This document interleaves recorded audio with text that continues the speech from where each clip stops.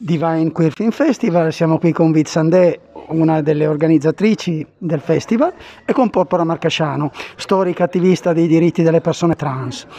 Eh, Sandè, mm, sei anni di Divine Queen Film Festival, che cosa ti hanno dato questi sei anni di questa manifestazione?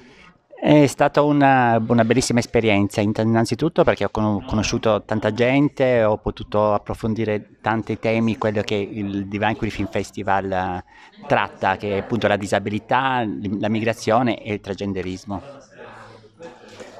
Porpora, una vita di lotte per i diritti delle persone trans.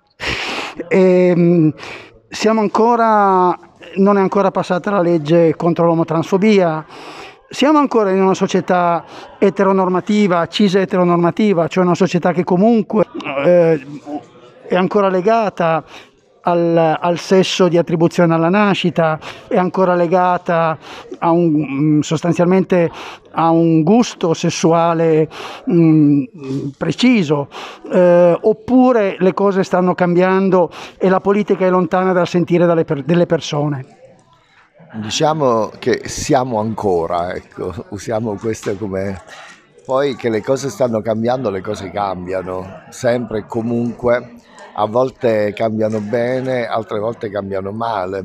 Certo il blocco della legge Zan è un cambiamento in male, in negativo, però tante altre cose cambiano grazie anche a certo attivismo, come dire, eh, su cui si è costruito si è costruito tanto, ma altrettanto c'è ancora da, da, da costruire. Eh, tu hai detto prima siamo ancora e mh, mi ha colpito, guarda, sì, siamo ancora eh, a, a, dire, a, fare, a, però penso che Uh, il principio dell'attivismo è proprio quello, non, non arri- essere arrivati, arrivare a qualcosa, ma continuare abbattersi, perché noi comunque viviamo in un mondo eh, ostile, un mondo da cultura patriarcale, quindi tutte quelle che sono le conquiste poi vanno difese, sia ben chiaro, vanno difese perché le conquiste non valgono una volta per tutte.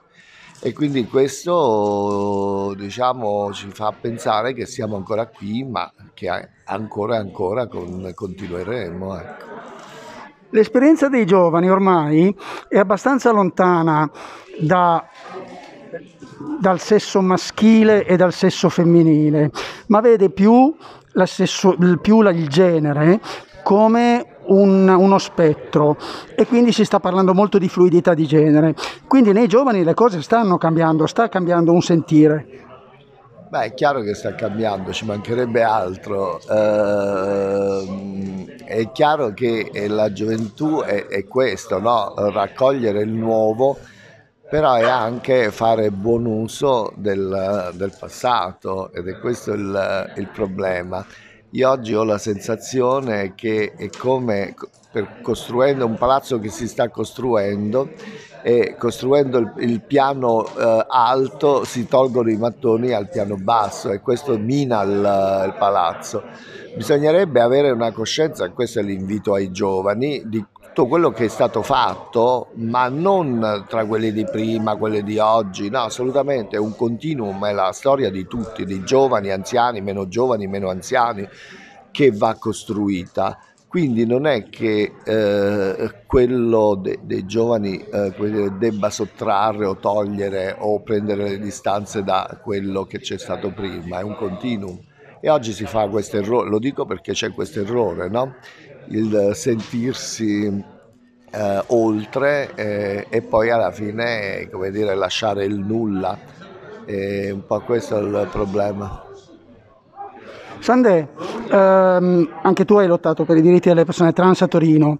Torino è una città sensibile ai diritti delle persone LGBTQ? Beh, eh, Torino è sicuramente una città laboratorio dove qui è nato il Fuori, quindi il primo, eh, la prima associazione per i diritti degli omosessuali e qui è nato anche il, uno dei MIT del 1982, è nato qui. E, è stata un, sicuramente una città molto aperta, molto accogliente, inclusiva e sicuramente una città dove le persone trans trovano un, un proprio spazio. Grazie mille.